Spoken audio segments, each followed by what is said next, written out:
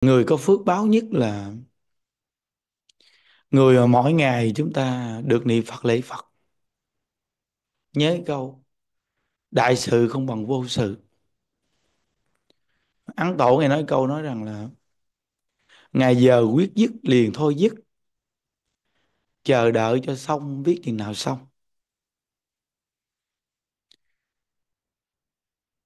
Hôm qua gặp một cái cô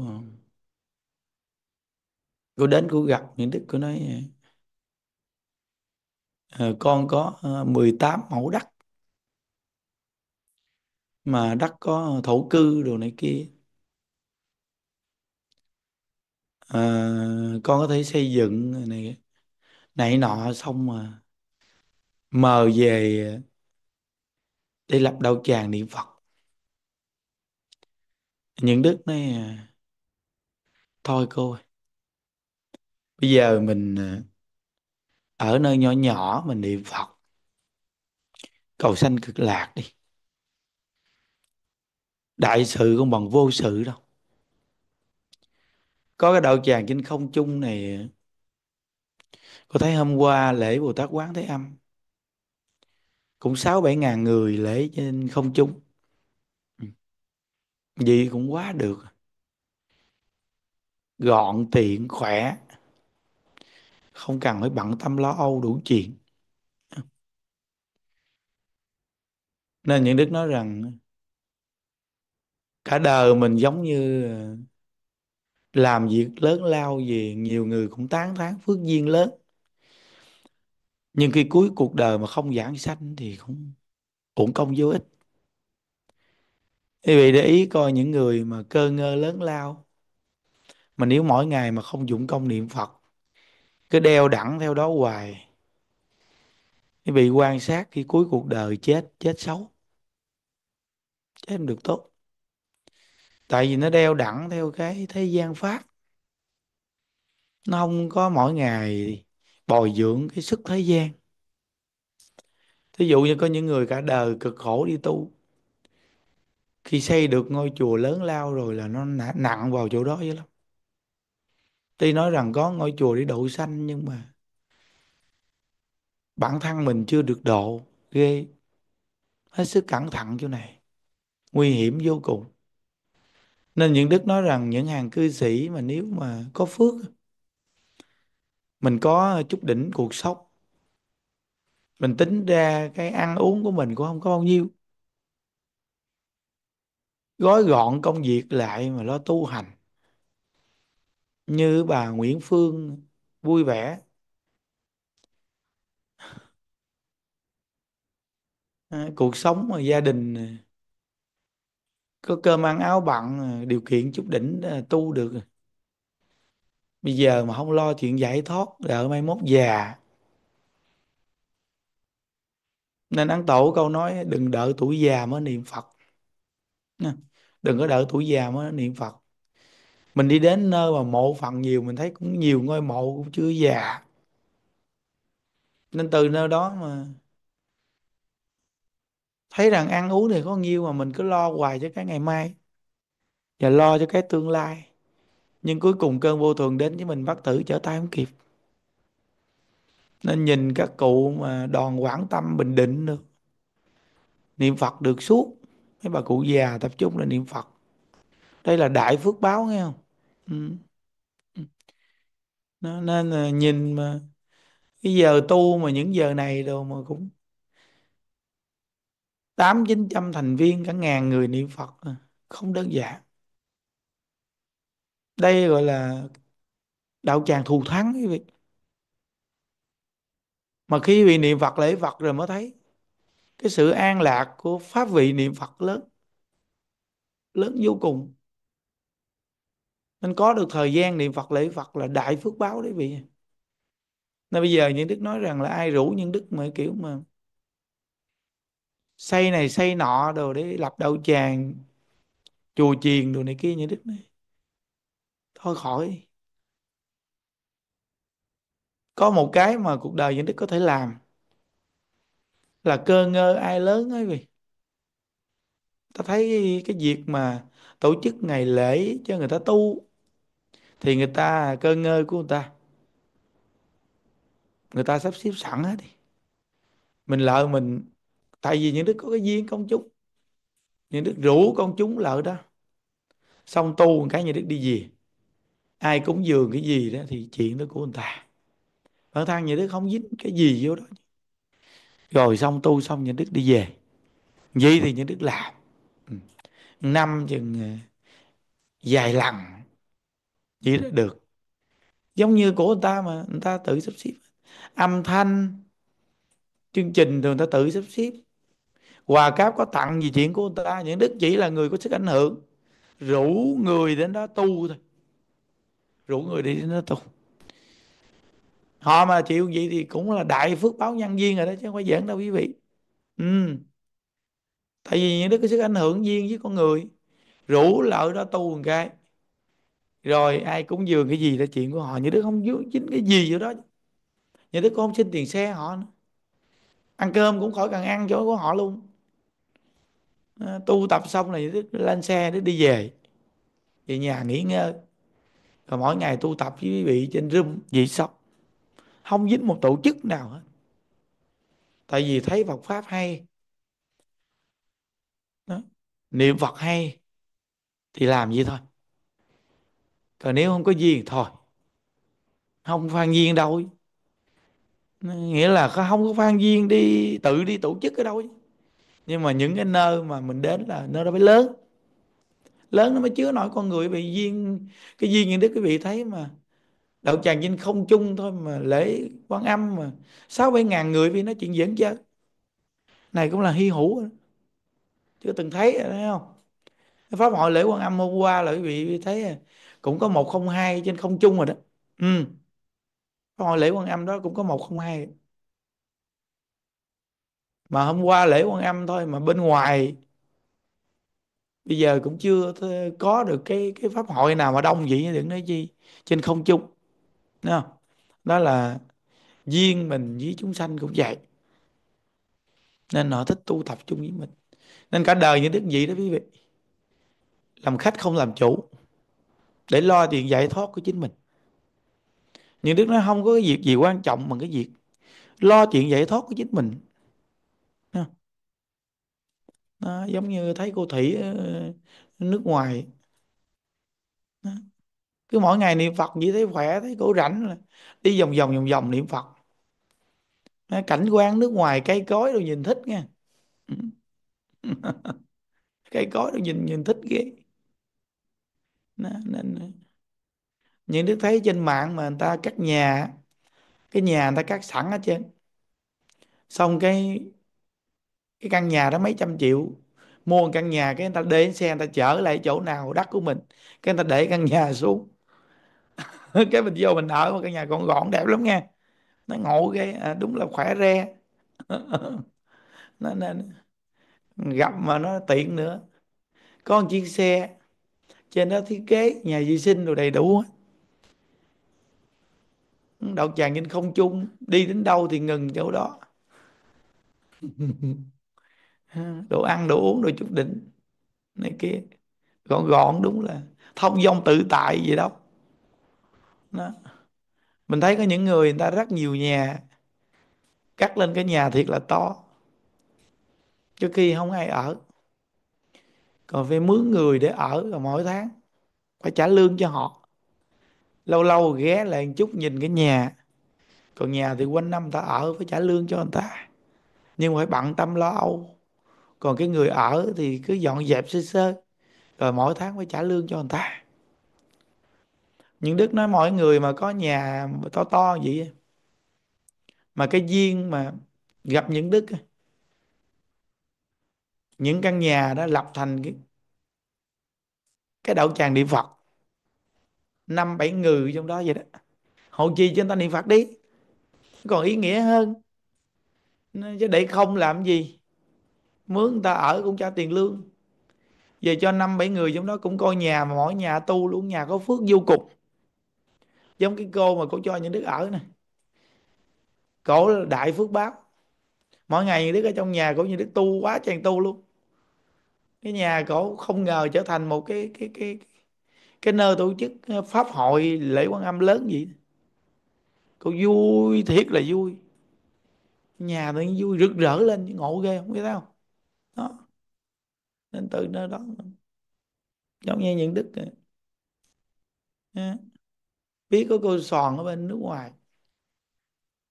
Cô cấp trước cô cúng những đức đâu. Mẫu đắc để sau này những đức cắt ờ, chỗ ở tu. Sau nhà này những đức nói thôi những đức gỡ lại cho cô. Cổ bên nước ngoài. Có một căn nhà gỗ thanh tịnh. Đó, cũng mướn người ta ở. Cái chỗ đó trở thành đạo tràng niệm Phật. Thấy ai chịu niệm Phật bốn năm người năm năm sáu người người ta ở đó ta niệm Phật. Cái nhà đó ý nghĩa liền. Hộ trì một người niệm Phật giảng sanh thôi cũng là vô lượng công đức rồi nói chuyện dẫn chơi mà bốn năm người đó nó không đơn giản đâu quý vị ơi. Ừ. Bốn năm người là giống như nó nó sàn sảy hạt chất thành hạt chất để mà lo niệm Phật lo tu. Ừ. Giống như giờ những đức ở trong nhà này. Ngày nào những đức cũng tu năm thờ. Mà bao nhiêu con người tu chung những đức hiện kỹ căn nhà nó ý nghĩa cỡ nào chưa? Đó, những đức nghĩ rằng ờ, nhân viên sau này cuộc đời những đức ví dụ như ờ, có những nơi mà người ta đi có những căn nhà đi, người ta cắt sẵn hết trơn. Có nhân viên gì đó à, ở lại đó ở một tháng, hai tháng vậy. Đó. tháng, hai tháng hay bốn, năm người. Cái tự nhiên như đức ở đó xong rồi nơi đó thành cái đậu tràng niệm Phật. Khi như đức đi xong nơi đó còn là mấy người cái tiếp gì mà tu. Nhà thành đậu tràng niệm Phật. Xong cái có ai mờ nữa đó đó bốn, năm tháng nữa. Ở đó đó, niệm Phật ở nơi đó vậy đó. Nó có room sẵn, lập sẵn hết cho mình đi dễ lắm cái tivi cái vi, vi u gì đó với hai cái lo. Nếu mà cái cái vốn của nó bỏ ra chừng à, trăm triệu là đầu tràng niệm Phật của những đức rồi đó là cái phòng. Rồi đó ở đó vài tháng như đức tu. Tu xong cái thấy được người được được cái như đức rủ người ta tu chung như ở đó đó. Xong rồi những đức hai ba tháng ba bốn tháng cái, cái những đức nó ở đi tôi đi nơi khác mờ nữa tôi đi đến nơi khác tôi ở nữa. Ờ, không có nhà nhưng mà tự tại quý vị. Làm khách không làm chủ lỡ người ta phải lo cho mình. Mình ăn đâu có nhiêu đâu mà người ta lo cho mình để mình tu thôi. Nên nơi nào mình đến nơi đó thành đạo tràng. Nơi nào mình đến nơi đó thành đạo tràng. À, khi mình trở về cái nơi mà mình thường ở đó thì cái nơi đó nó câu thông với mình luôn. Khi mà mình tu cái nó bật lên mình thấy nơi đó mọi nơi nó đều tu tu tu chứ. Bốn năm người bốn năm người bốn năm người. Giống như năm xưa mà đại lão và tự tịnh không á. Ngày lập ra tịnh tông học hội nhiều lắm. Tịnh, tịnh tông học hội nó không phải chùa như một cái nhà ở bình thường vậy đó. Trong đó có số lượng người ít lắm. Chừng 10 người đổ lại thành tịnh, tịnh tông học hội Thấy không? Nhưng mà cái nơi cái truyền pháp môn tịnh độ. Thời đó thì sách vở ờ, băng đĩa của tự tịnh không. Còn bây giờ thì thật sự mà sách vở băng đĩa nó cũng không có còn phổ biến. Nhưng mà máy niệm Phật nó phổ biến. Máy niệm Phật phổ biến. Máy niệm Phật Phật với đèn bông sen năng lượng phổ biến nhất. Máy nghe pháp bây giờ cũng không phổ biến bằng. Vì giờ đa phần ta xài điện thoại cảm ứng hết mình có nói chuyện gì ta lên ta nghe chứ. Máy niệm Phật đèn năng lượng. À, à, có nghĩa là cái năng lượng với đèn bông sen để bàn thờ còn phổ biến. Bây giờ từ từ viết á. Ở đây những đức bắt niệm Phật để suốt à. ngay nhà vị để một cái ờ, đầu tư cái máy tính. Máy tính ghim thì suốt được. Điện thoại ghim mỗi ngày nổ cái bùm. Điện thoại ờ, mấy điện thoại ghim lâu cái chừng nó nổ cái bùm chứ không phải chuyện dẫn chơi đâu. Ừ máy tính có thể. Lựa cái loại gì đó mà ghim điện mà trực tiếp được để niệm suốt luôn. Ừ. niệm suốt luôn. Tu xong cũng để y thinh. Ví dụ như ờ, ờ, Diệu Ngọc hay Tệ Phương hay ờ, Liên Phúc gì đó. Diệu Minh gì tu xong để hoài vậy đó. cuối cùng cái chỗ đó là chỗ của mình thôi. Lúc nào mình cũng hàng đầu để hoài. Nguyên Thủy Nguyên Thủy để hoài khỏi cần ờ, bận biểu ờ, tranh thủ thời gian bấm lên. Tại tu xong để luôn rồi. Nên mình là vị trí ờ, hàng đầu, cao nhất. Em phải đầu tư nghe. Sao mình nhiều thứ đầu tư mà sao mình không đầu tư chỗ tu quý vị? Mà nhà mình cái chỗ tu cái đó là cái chỗ phát từ trường nhà mình đó. Đừng nói chuyện dẫn chơi nghe. Đại lão ở từ định không người nói người niệm Phật ở nơi nào là nơi đánh ánh sáng phát ra? Tâm bạn thanh tịnh bao nhiêu, phát ánh sáng xa bao nhiêu? Hòa thượng không những đức nghe ngày giảng ngày nay. Nơi nào mà đậu tràng niệm Phật thì nơi đó một trăm dặm chúng sanh được nhờ. Cái kinh chưa? Không là giỡn đâu. Chỉ là bao nhiêu căn nhà niệm Phật này vì nghĩ cỡ nào chưa?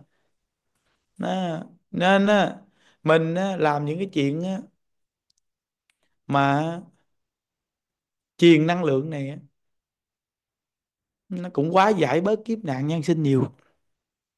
Nhất là đường truyền trên không trung. Nên quý vị biết người có phước báo nhất là mỗi ngày được dưỡng cái tâm tu. Nên những đức bây giờ những đức nói cho quý vị nghe. Bây giờ từ bây giờ tới cuối, cuối cuộc đời những đức những đức làm cư sĩ à những đức làm những cái chuyện mà không bao giờ dính với tổ chức. Hiểu rồi quý vị? Để tu 15 năm ở trong cái tổ chức lớn nhưng Đức biết hết trơn giờ nhìn Đức hiểu à Đức không bao giờ dính với một tổ chức nào lớn. Không có tính cái chuyện gì lớn lao như Đức. Thích làm khách. Thích làm khách. Không có bận tâm nữa. Đó. Để lo cái chuyện giải thoát của cuộc đời mình là quan trọng nhất. Thời gian 15 năm của nhà Đức đi tu, nhà Đức nhìn thấy có những người, nếu khi lúc họ còn sống, được tôn vinh và đi đến đâu là người ta cũng đưa rước ghê lắm. Nhưng khi cận tới nghiệp chết thê thảm. Quý vị sống trong cuộc đời quý vị xem xét nhìn. Để mình chọn ra một phương hướng con đường của mình đi cho đặc biệt. Nên những người mà có cơ lớn rồi đó,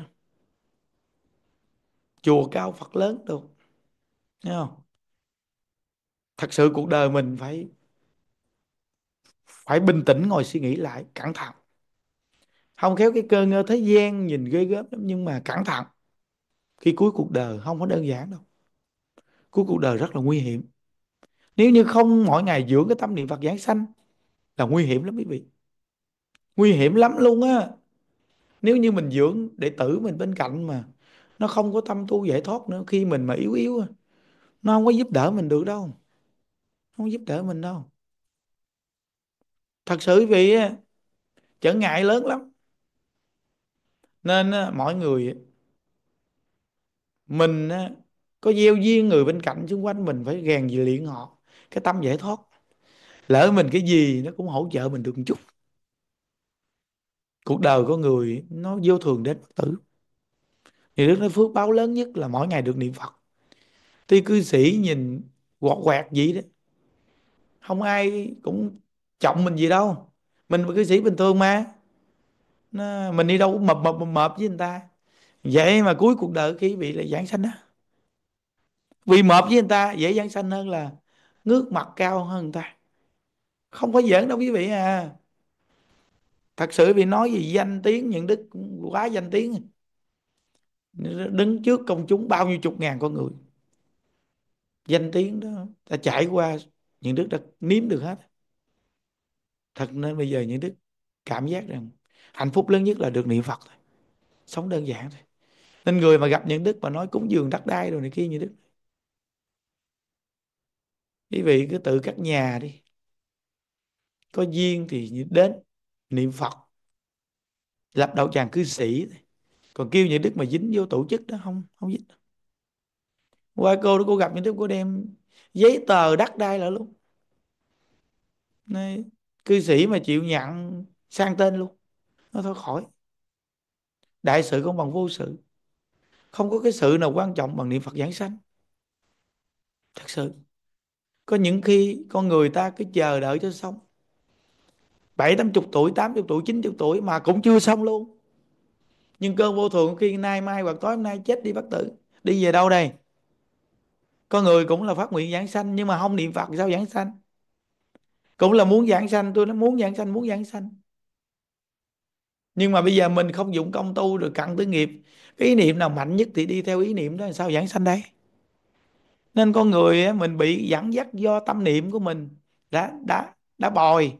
Mình bồi chỗ nào mạnh quá mình đi vô chỗ đó. À. hết sức là cẩn thận.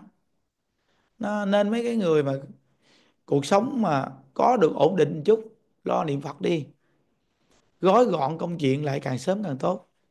À, đó là khôn lắm đó, chứ không phải chuyện dẫn chơi đâu có một cái nơi nào cắt một căn nhà xung quanh cây cối mát mẻ, mỗi ngày niệm Phật, có cái phòng hộ niệm Phật. Còn thích đi vòng vòng xung quanh nhà niệm Phật thì đi vòng vòng niệm Phật. Trồng vài lớp rau, lúc vài cọng rau đó niệm Phật cũng được. Có thêm người gì nữa, sống với mình cũng được. Biết niệm Phật, biết tu. Mỗi ngày ăn có nhiêu tiền đâu quý vị, ăn chay mà vậy mà sống khỏe, sống thọ, cặn tới nghiệp để được giảng sanh, đây là đại phước báo. Người này mới người biết hưởng thụ nè. Đây là hưởng thụ gì, biết không? Hưởng thụ sức thế gian. Hưởng thụ này là hưởng thụ sức thế gian.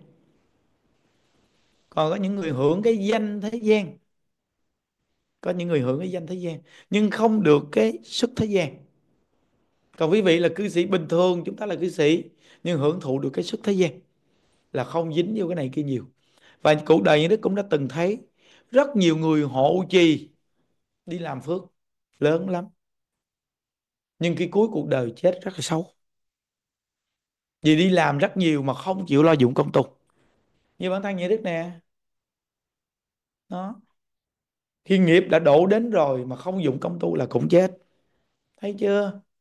Tu phước tu duyên làm bao nhiêu việc thiện đó cũng lớn nè anh xuống một cái nếu những đức không lo dụng công tu là những đức tiêu tan cái tâm những đức là tiêu rồi thấy chưa? Nó đó là điển hình đó. Trong cuộc đời tôi, tôi đi tu những đức, những đức gặp nhiều lắm. Tu tạo phước duyên cũng lớn lắm nhưng không dụng công tu. Ai đụng tới một cái là phiền não cực kỳ lớn luôn. Phiền não dữ lắm luôn tại vì ỷ mình là người tu tạo phước lớn. Sao dám nói mình dám đụng tới mình? Nên có những người đi đến chùa cúng dường đồ dữ lắm. Nhưng khi người trong chùa càng nói động một câu thôi là phiền não sân si lên chửi lại liền. Đó là hết sức cẩn thận quý vị ơi. Nên cái gì cũng không bằng niệm Phật đâu. Nghe đạo tin nhân quả. Làm thiện gì làm. Còn ai nói động tới mình thì thôi. Đủ duyên thì làm không đủ duyên thôi. Quý vị làm gì đúng rồi đó. Đúng rồi đó. À, nó tùy duyên tiêu nghiệp chướng phan duyên chuốc tay ương. Tùy duyên tiêu nghiệp chướng phan duyên chuốc tay ương. Nhớ kỹ nó, nên những gì những đức nói đều tùy duyên chứ. Niệm niệm gì chúng sanh. Hội ngộ được với chúng sanh thì cũng tốt không hội ngộ thì thôi. Nó, những nơi nào có điều kiện lớn lao chỗ ở rộng rãi phương tiện ổn định sắp xếp sẵn hết rủ tôi đủ duyên. Tôi rủ người đến tu tu xong tôi về. Nơi bị trả lại cho quý vị. Ai cũng dường quý vị nhận hết đi. Đó là chuyện quý vị như đứa không đụng vô. Và buổi cơm những đứa cũng không muốn ăn nữa nó thật sự luôn á. Nó thà mua ổ bánh mì để trên xe. Người ta chở như đức đến xong, tu tập xong lên xe ăn ổ bánh mì, uống miếng nước. Chạy về tới nhà, người ta nấu sẵn cơm cho mình về nhà, mình ăn cơm xong. Không dính một cái tổ chức, không hợp với tổ chức. Chỉ đến tổ chức tu. Bước vô lễ quan âm, bước vô niệm di đà, lấy âm thanh của mình bật lên cái xong tu tập xong mình đi về. Vì sao? Vì muốn lo cái chuyện giải thoát. Nhưng hữu tình chúng sanh thì làm chút. Còn không có duyên đó thì cứ tu trên rung. Cứ như vậy mà tu đó là tiện lợi nhất. Lo cho con đường giải thoát. Chúc quý vị an lạc. Ai di đà phật. Ai di đà phật. Ai di đà phật.